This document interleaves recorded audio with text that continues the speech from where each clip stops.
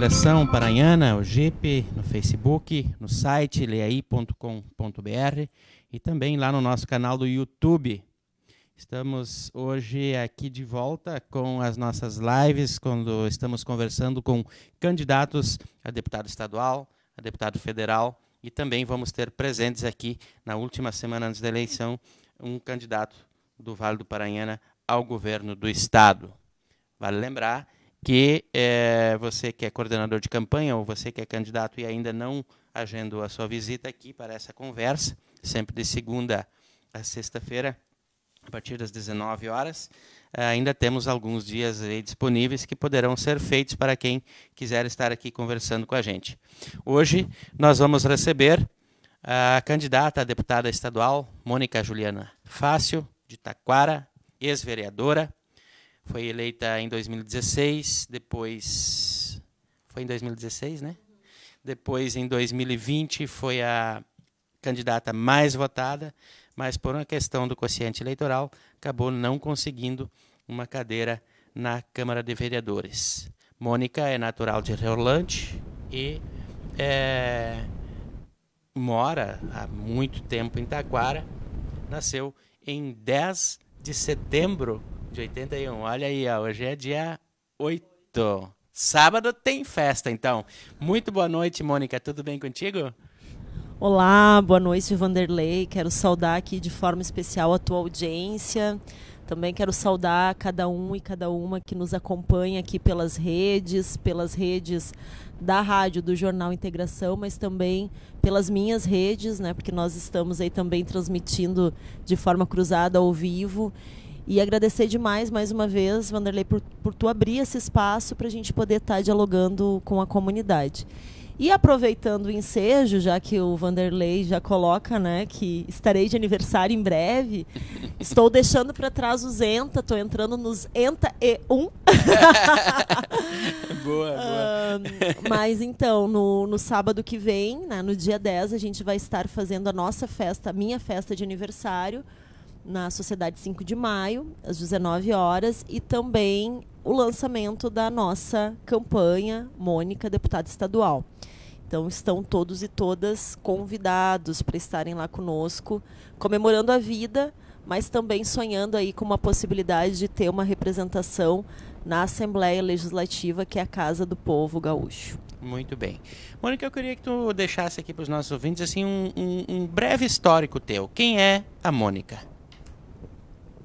Bom, então, uh, eu sou filha de pequenos agricultores que, num determinado momento, ali na década de 80, tiveram que sair das suas terras em função da dificuldade que tinham, como tantos e tantas aqui da nossa região, que também passaram por esse mesmo processo de ter que sair né, dos seus espaços, né, dos espaços que foram constituídos para buscar os seus sonhos, os seus desejos né, uhum. em outros lugares. E foi o que aconteceu com os meus pais.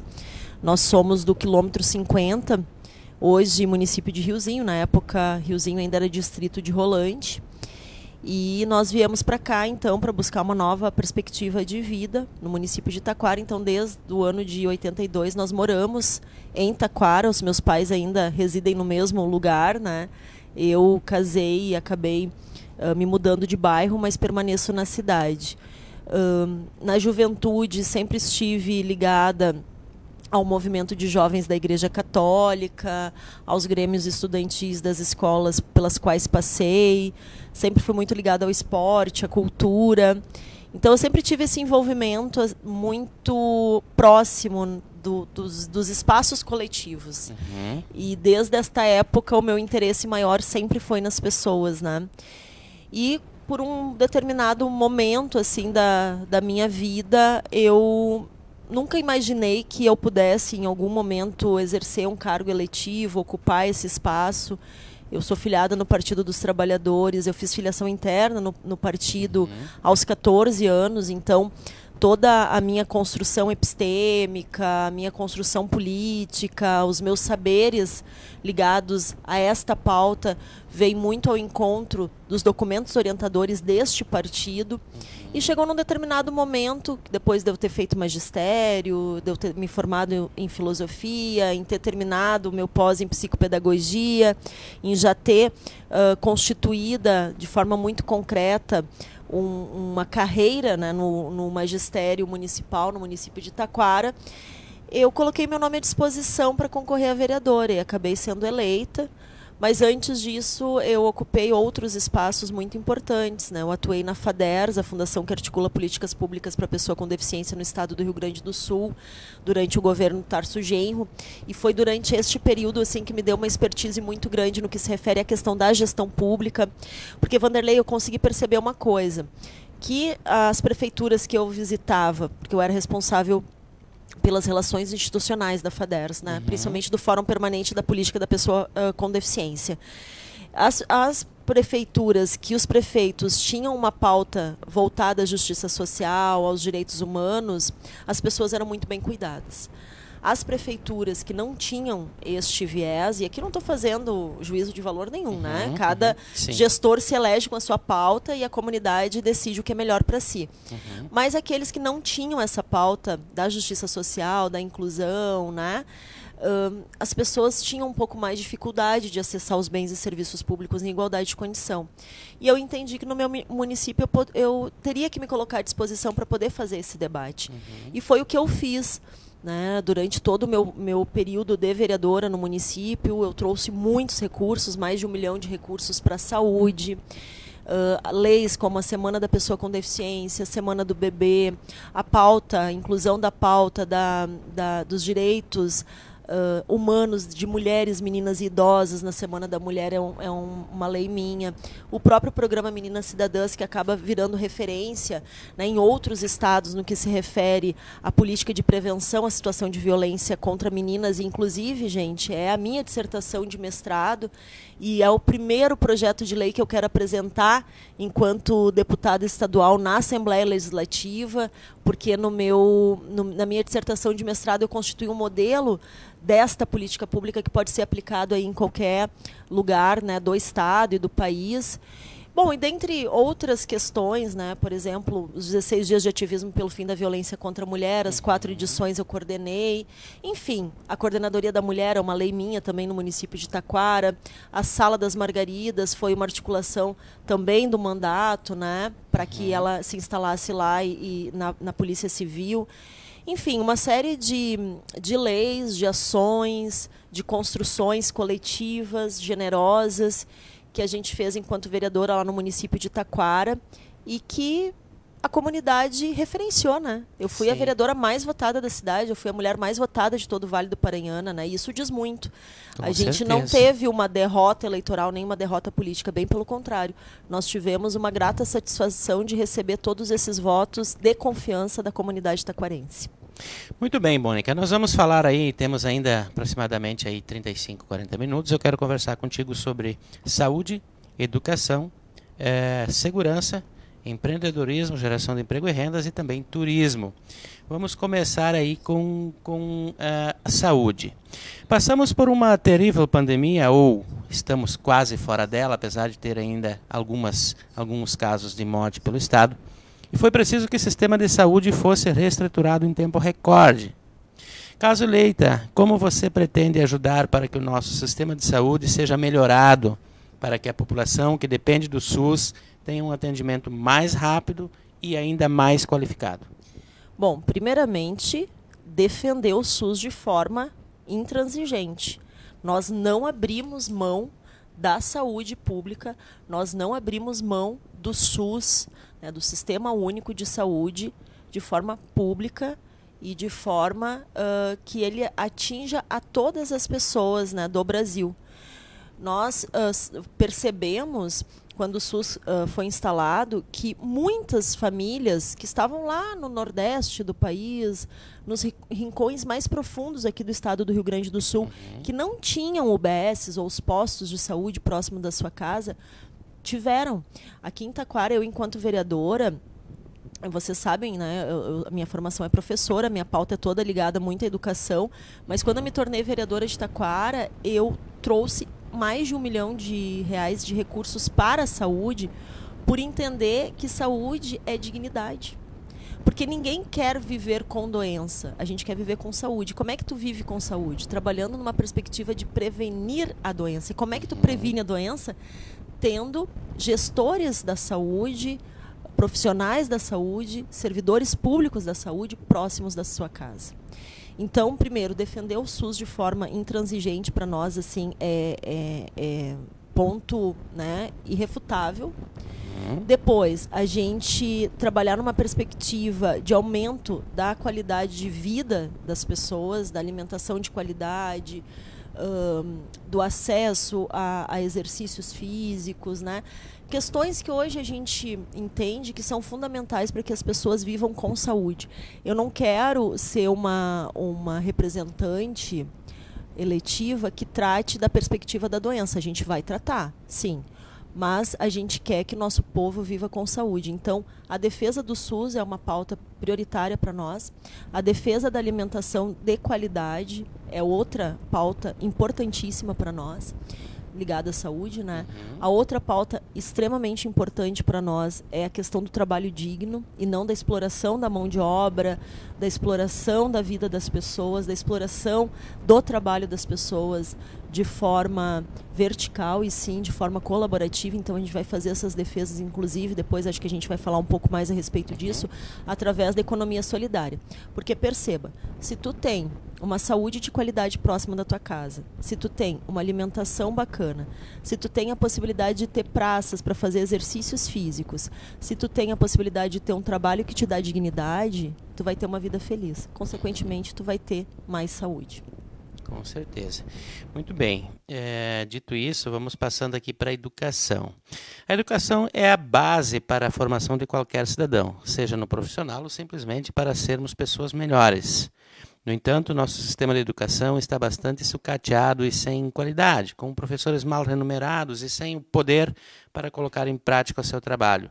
Além de termos escolas, principalmente as estaduais, completamente sucateadas.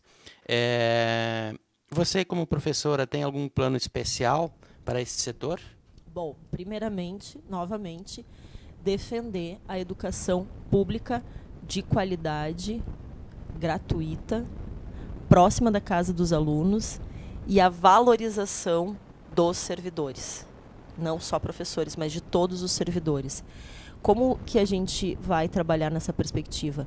Primeiro, fazer uma ampla discussão, né, para que a gente possa fomentar a qualidade dos serviços públicos e dos seus servidores através de uma ampla discussão sobre os seus planos de carreira. Isso é extremamente importante. Os avanços temporais, outros benefícios que foram extremamente atacados, principalmente na gestão do uh, atual ou ex-atual governador Eduardo Leite. Depois, a gente tem uma proposta que para nós é fundamental, que quem nos ajudou a construir, inclusive, foi o professor Elisier Pacheco, que foi responsável pela instalação de vários institutos federais né, no Brasil todo e essa política dos institutos federais. Então, a gente quer estruturar um modelo de ensino técnico estadual nos moldes dos institutos federais, né? Uh, principalmente atuando nas diferentes regiões com a missão que os institutos federais têm, que é uma missão de compreender, né, o local onde onde esses espaços estão inseridos. Isso é bem bem importante assim para nós, com uma concepção baseada principalmente na formação integral, né, uh, do humano, a questão da politecnia, uh, dos itinerários formativos tanto da educação básica, né, durante a educação básica, como também uh, na educação uh, superior e na pós-graduação. Depois a gente também tem como uma, um, uma, um compromisso de atuar pela manutenção e ampliação da educação de jovens e adultos do EJA, né? Porque para nós é fundamental. Eu trabalho hoje numa escola, estou obviamente descompatibilizada em função do período eleitoral, mas eu trabalho numa escola no município de Taquara que tem o EJA Educação de Jovens e Adultos. E a gente vê o brilho no olho daquelas pessoas que não puderam uh, estudar na, na idade correta. A gente, a gente conhece várias pessoas que se alfabetizaram depois de ter filhos adultos, que já saíram de casa. Então, como é que a gente não vai possibilitar essa dignidade das pessoas, que é de tu poder decodificar os signos, os símbolos que são formados por letras, que são formados por sílabas e que formam palavras e que formam frases e que formam textos, né? Isso é fundamental, é uma luta que para nós ela, ela não tem preço. Quando tu olha para o rosto, para o olho de uma pessoa que pela primeira vez consegue ler. Então essa é uma defesa que nós não abrimos mão assim e para nós é super importante.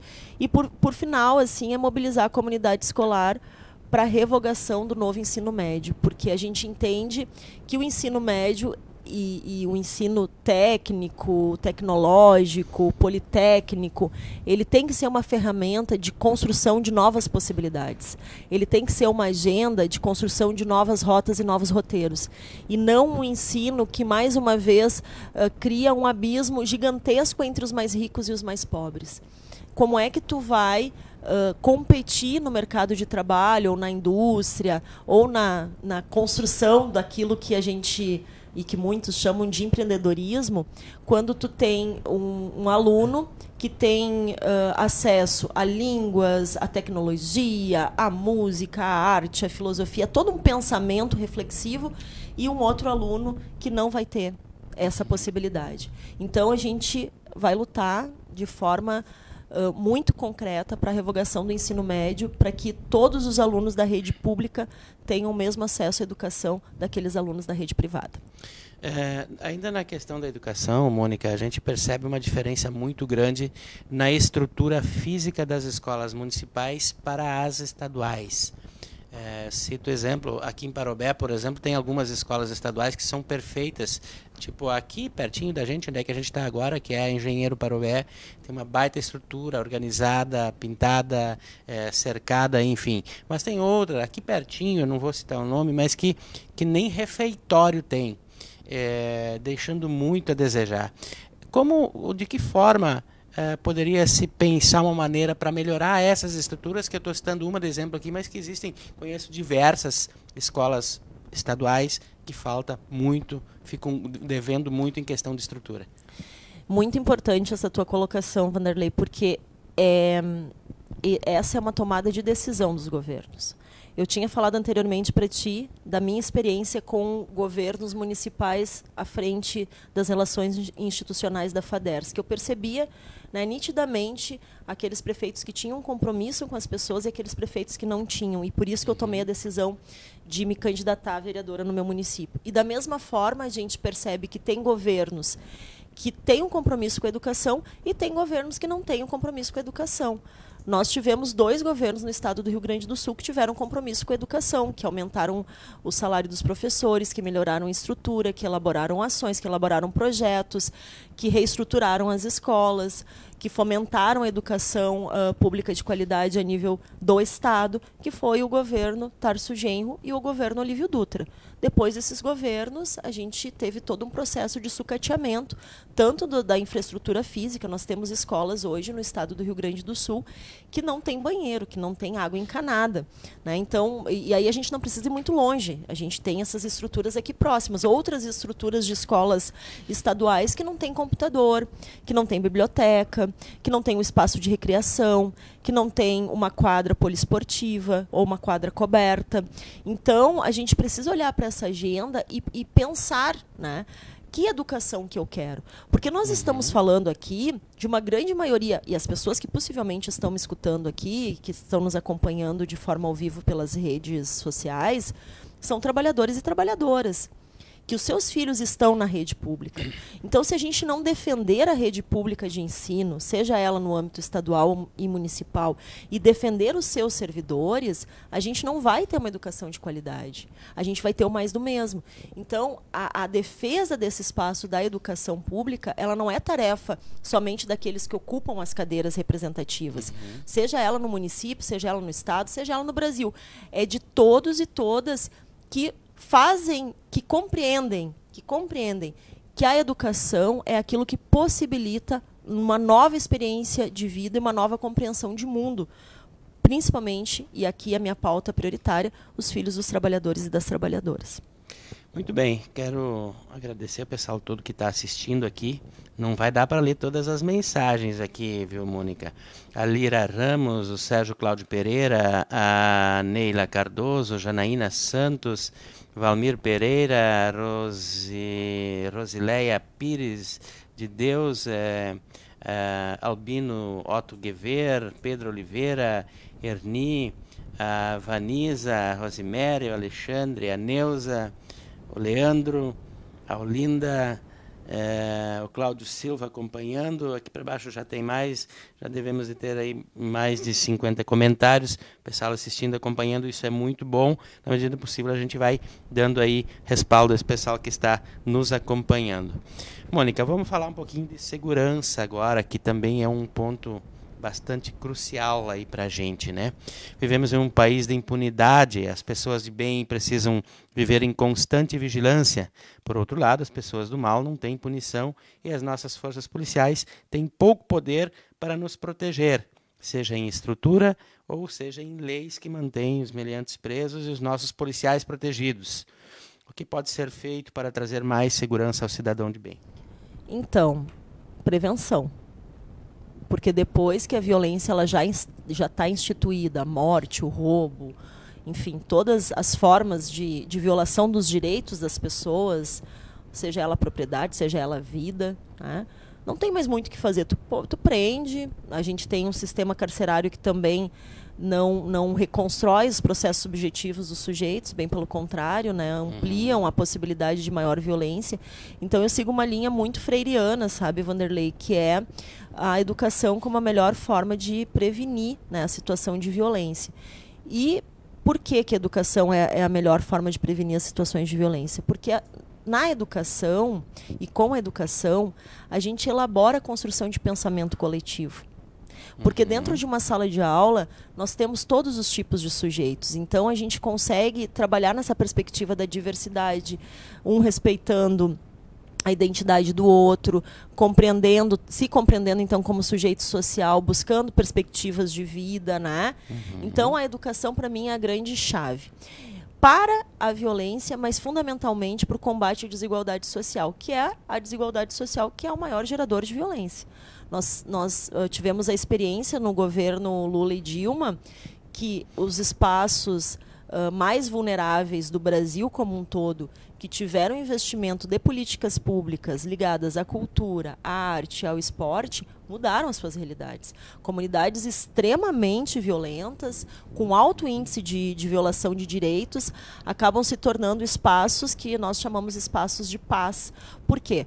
Porque conseguiram uh, construir esse processo não de, de deslocamento dessa, uh, dessa desigualdade, porque infelizmente o Brasil é escandalosamente desigual e não é um governo, dois governos e três Sim. governos que, que vai uh, diminuir né, esse, esse, esse vácuo que tem entre né, os mais ricos, né, esse precipício que tem entre os mais ricos e mais pobres. Não é um governo somente.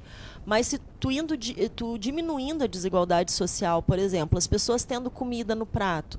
Hoje nós temos uh, em torno de 80% das crianças brasileiras que não se alimentam três vezes ao dia.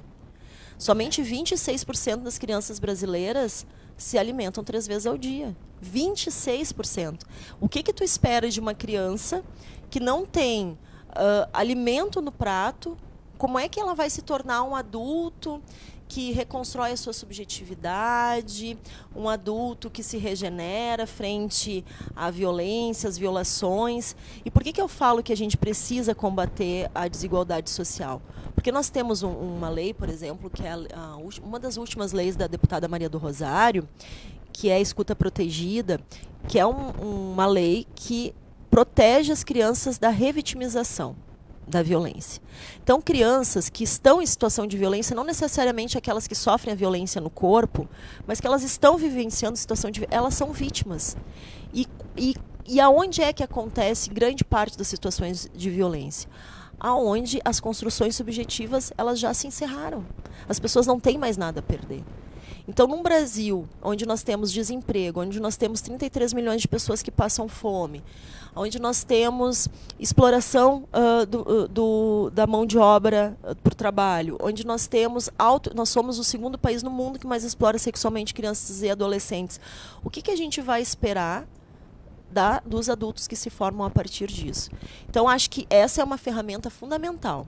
Não adianta a gente armar mais a população, como o governo uh, federal, né, que aí ocupa a cadeira da presidência da República, vem afirmando, e não trabalhar na prevenção às situações de violência, com políticas públicas de desenvolvimento de pessoas, com políticas públicas de uh, desenvolvimento e atendimento na questão social das pessoas. Por outro lado, a gente quer trabalhar muito, e eu, enquanto vereadora no município de Itaquara, tenho maior orgulho de ter feito isso né, de forma municipal, trabalhar muito na articulação de políticas públicas de proteção e cuidado de mulheres e de prevenção à situação de violência contra meninas. Né? Isso, para mim, é fundamental. Tinha te falado ali do Meninas Cidadãs, que é, uhum. é, é a primeira lei assim que eu quero né, colocar, é uma lei de segurança, na realidade, uhum. de prevenção à situação de violência. Depois, uh, trabalhar muito nessa perspectiva do enfrentamento concreto à exploração sexual de crianças e adolescentes. Para mim, assim, é um ponto fundamental da minha trajetória. E temos um índice altíssimo. Altíssimo. Nós somos o segundo país que mais explora sexualmente crianças e adolescentes. Então, assim, isso Vanderlei. E todas as coisas que eu venho dizendo aqui não são eleitorais e eleitoreiras, são compromissos de vida. Uhum. Né? A professora Mônica, aquela que ocupou as salas de aula, que ocupa as salas de aula ainda né, desde o ano de 2000, então faz mais de 20 anos, é, dedicou a sua vida, o seu trabalho a servir ao público. Quando eu me torno vereadora, eu amplio um pouco mais uh, desse, dessa prestação de trabalho para o município de Itaquara. E agora me coloco à disposição e eu ofereço aqui para a comunidade mais trabalho. E um trabalho de cuidado com as pessoas, uhum. né? que isso para mim é fundamental. E para encerrar a pauta da segurança, caminhar ao lado da comunidade LGBTQIA+, dos negros, dos indígenas, dos quilombola, pelo fim da transfobia, da homofobia, do racismo. A gente precisa constituir uma sociedade que ela seja integral, que ela seja inclusiva e não uma sociedade para poucos, uma sociedade excludente, exclusiva, né? Porque isso gera mais violência, isso gera mais dor, gera mais sofrimentos e cada vez mais a gente vai ter que levantar os muros das, das nossas casas, andar com carros blindados, ter medo de andar na, na rua com as pessoas, de frequentar lugares porque a gente não tem um processo de cuidado com as pessoas. E essa é uma tarefa que eu me proponho como uma tarefa de vida e não uma tarefa eleitoral. Muito bem. Feito isso, quero mais uma vez ainda agradecer o pessoal que está acompanhando, que está assistindo, que está que compartilhou, que está comentando. Continuem lá, continuem com a gente que temos mais mais mais bate-papo por aqui. Bem, vamos falar um pouco agora de geração de emprego e rendas. Né? No nosso, o nosso índice de desemprego estadual e a nível nacional, você falaste há pouco, está significativamente alto, apesar da retomada da indústria pós-pandemia. Né? O que você pretende fazer ou o que você tem em mente é, para fomentar é, ainda mais a geração de emprego e renda no Rio Grande do Sul? Então, eu tenho muitas ideias. Muito importante. Eu tenho muitas ideias, eu tenho muita vontade. É, esse tema, só para a gente fazer aqui um, abrir um parênteses, eu sou uh, mestre em desenvolvimento regional. E aí eu fui para o mestrado em desenvolvimento regional para entender os coeficientes locacionais aqui da nossa região. Né? Me atravessava muito. Eu sou uma pessoa muito curiosa, então uh, perceba, eu sou formada em filosofia, tenho pós em psicopedagogia e tenho mestrado em desenvolvimento regional. Parece uma coisa muito esquizofrênica e, e realmente eu acho que sim, é um pouco, mas diz um pouco de mim, assim, da minha trajetória. Eu sou uma pessoa extremamente curiosa. Então, quando eu fui fazer filosofia, fui fazer filosofia para entender melhor como as pessoas pensam. Uhum. Quando eu fui fazer fazer psicopedagogia, fui fazer porque me falavam assim: ah, não precisa investir naquele aluno lá, porque ele é irmão daquele outro, filho daquele outro, e aquela família não aprende mesmo. Então, e aí eu fui tentar entender como é que as pessoas aprendem. E quando eu fui fazer o mestrado em desenvolvimento regional, eu já era vereadora de Taquara, e me marcava muito que as pessoas diziam assim: "Ah, mas aqui no Vale do Paranhana não tem emprego. Aqui no Vale do Paranhana as, as indústrias não param, porque as pessoas têm que ir para a região metropolitana, têm que ir para a linha do trem, têm que ir para Porto Alegre para buscar emprego. Aqui na nossa região é uma região muito de dormitório. E eu ficava pensando isso, mas como que, né, é isso tudo? E aí eu fui entendendo um pouco os, os, processos todos e agora quando passar tudo isso eu quero fazer o meu doutorado em economia, exatamente porque eu tenho muitas ideias a respeito desse tema. E uma das ideias assim e de defesas que para mim são fundamentais, eu aprendi muito com as mulheres da economia solidária. Eu quero mandar aqui um beijo para as gurias da economia solidária que eu sei que estão aqui acompanhando. Aprendi demais e eu tô do lado do Lula exatamente porque ele se comprometeu que, se eleito for, e assim será, ele vai instituir o Ministério da Economia Solidária. Vanderlei, não é mais possível a gente uhum. ter uma uhum. economia que explore a mão de obra das pessoas, que explore o trabalho das pessoas uma economia pautada na exploração do meio ambiente. Não é possível, não é mais sustentável. Né? A gente precisa trabalhar numa perspectiva de regeneração das relações humanas conosco mesmo, com as pessoas e com a natureza. Então, eu proponho muito uh, a criação né, de, de, um coletivo, de uma política estadual da economia solidária. Ela já existe, mas ela, ela ser mais articulada nesse sentido. Eu uhum. quero estar do lado das mulheres, dos homens, da economia solidária, trabalhando muito com a pauta da, da segurança alimentar articulada com a agricultura familiar, com a educação, com a assistência social. Outra questão que para mim é fundamental é apresentar soluções para o desenvolvimento econômico de forma territorial, levando em consideração os territórios. Então, por exemplo, mesmo numa, numa cidade que nem Parobé, e esse, é, esse final de semana eu estive no sábado aqui em Parobé, na, na, na rua coberta. Na coberta Isso, na rua coberta, no sábado. E estive também na quarta-feira conversando com o pessoal do artesanato, da economia solidária. E a gente falava muito a respeito disso, dos territórios. Porque uma economia uh, solidária uh, do interior, ela vai ser uma economia muito baseada na alimentação, na agricultura familiar. Uhum. Uma economia uh, uh, solidária urbana, ela vai estar tá mais ligada ao artesanato, ela vai estar tá mais ligada à arte, ela vai estar tá ligada mais a esses universos. Então a gente precisa de representantes eletivos que também levem em consideração os territórios e tudo aquilo que eles também pode né, nos apresentar. Por outro lado, eu penso que uma das grandes questões que o governo Tarso ele fez e que para mim foi uma das agendas mais primorosas do governo, que foi o microcrédito gaúcho. Uhum. E que se perdeu né, no decorrer da, dos outros governos, dos, das outras gestões. E a gente quer retomar o microcrédito gaúcho. Está no meu material, inclusive, né, que vocês podem acessar aí pelas nossas redes. Porque... As pequenas empresas Exato. têm muita dificuldade no, no sistema de hoje para conseguir algum, algum financiamento do, do, nosso banco, Banrisul, né, que a gente diz tanto como nosso banco, nosso banco, mas aí o pequeno empresário vai lá e Sim, mas, mas por que isso, assim? Porque por que, que eu faço essa defesa?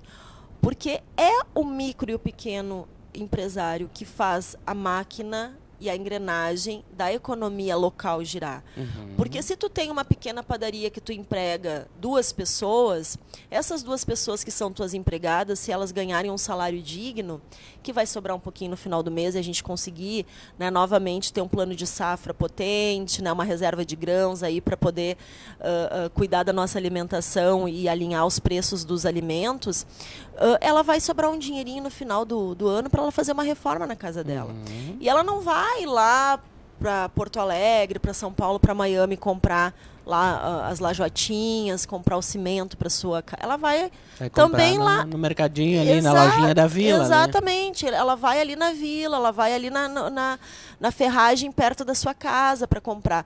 Da mesma forma que tem uma lancheria ali que está funcionando legal, que tem os seus funcionários, esses funcionários no final de semana ou no dia da semana quando tiver uma folga, ele vai lá no parque, ele vai comprar pipoca do pipoqueiro.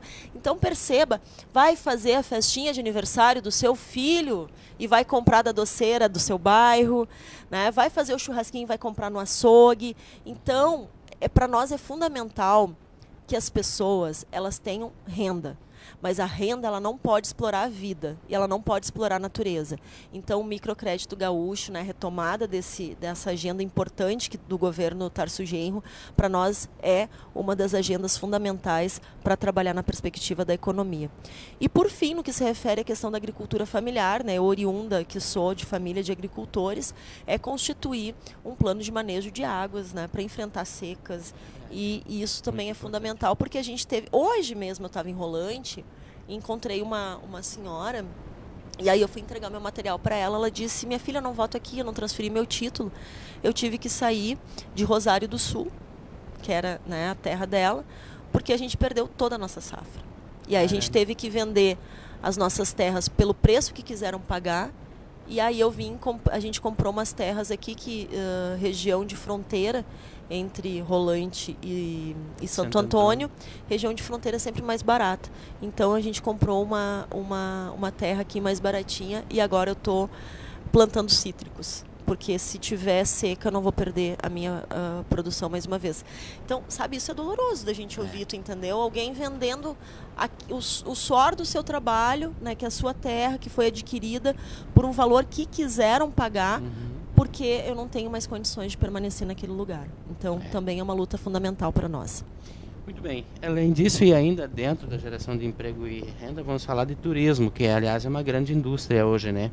Somos uma, reunião, uma região com grande potencial turístico, uma vez que as nossas ligações aqui é, pela 239, quem vem por aqui vai a Serra Gaúcha, vai a Canela e Gramado, aqui quem vai a Litoral também, quem vem da região do Litoral também, é uma grande passagem para Canela Gramado, que Gramado é o segundo maior destino turístico do Brasil. É, o que podemos fazer para melhorar esta grande indústria, principalmente aqui na nossa região, aproveitar o que nós temos? É, Taquara tem, tem potencial gigantesco para o turismo, Rolante, Riozinho, Igrejinha, Três Coroas, enfim. Nossa região é uma região que, que pode é, retribuir muito mais para o turismo. Qual o seu pensamento em relação a essa área? Então, essa é uma das minhas principais pautas no que se refere à questão do desenvolvimento econômico, junto com a economia solidária, com a agricultura familiar, com a permacultura, com a agrofloresta, que é o turismo de base comunitária. Uhum. Nós temos belezas deslumbrantes aqui na nossa região. Né? Eu, eu sou eu tenho um privilégio de, de conhecer muito bem a nossa região, porque eu sou do quilômetro 50, no Riozinho, que tem a Serra da Boa Vista, por exemplo, que é um lugar deslumbrante. Riozinho como todo, né? Cascata do Chuvisqueiro, os condutos, né? Enfim, tem muitas a belezas. Da, a sequência da 239 até Maquiné, Sim, Maquiné é uma viagem fantástica. É lindo, né? é lindo, é lindo. A gente fez essa viagem, eu, meu esposo e o meu primo Matheus, que está aí acompanhando, uh, no, no ano passado, assim, a gente desceu pela Serra da Boa Vista, subimos pela Serra do Umbu, então foi bem uma, uma experiência muito bacana, assim e até em função realmente de, de tentar entender esses roteiros, né? Porque, eu, eh, como eu falei, sou uma pessoa muito curiosa, mas eu também sou uma professora, eu sou uma cientista, então a gente precisa estudar. Né? A gente às vezes tem ideias muito boas, mas que não são viáveis, né? E tá tudo certo, não tem problema. O bom é ter ideias, é querer uhum, fazer, né? Que a gente possa ter muitas ideias, mas às vezes não são viáveis.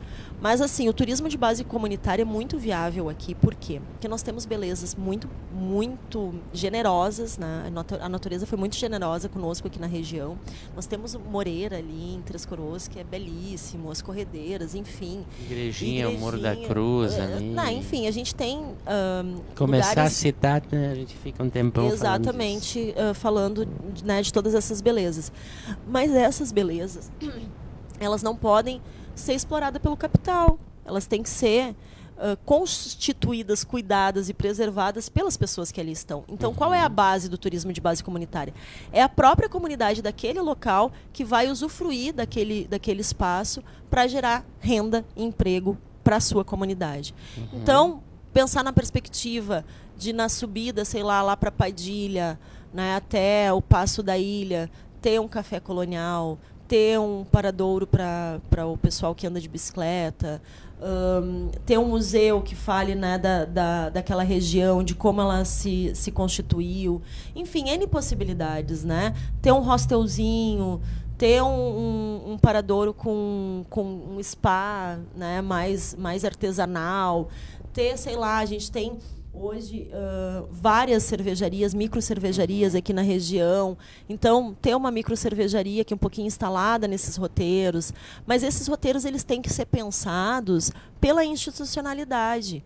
Né? Não adianta tu ter uma boa ideia, ah, eu vou lá, vou botar um negocinho lá. Não vai dar certo. Uhum. Porque precisa se criar o quê? Uma rede. Então, o turismo de base comunitária ela não ele não depende só de uma ou duas pessoas como o próprio nome diz, depende da comunidade. Né? Exatamente. Né? Depende do esforço da comunidade de saber, bom, o que, que eu posso oferecer de serviço para esse local que está aqui, para as pessoas que por aqui passam. Então eu quero muito poder construir isso, isso é um dos meus sonhos aqui para a região. E que bom que não é um sonho que eu sonho sozinha, porque não só aqui da região, mas ali a região de Itati, Três Forquilhas, Terra de Areia, tem várias pessoas que estão caminhando comigo nesse sentido para a gente elaborar aí essa agenda, esse cinturão de turismo de base comunitária que vai ligar serra e mar. Coisa boa. Mônica, a conversa tá boa, já debatemos aí sobre os assuntos que a gente queria debater, já se passaram aí 42 minutos. Eu queria deixar o microfone à tua disposição para que você ficasse à vontade para falar de mais algum assunto que eventualmente a gente não comentou aqui e posterior também as suas considerações finais. Então, Vanderlei, quero agradecer muito. Eu abri agora aqui para ver as pessoas que aqui estão. Gente, quero agradecer muito vocês, cada uma e cada um, que vem se somando nessa, nessa caminhada.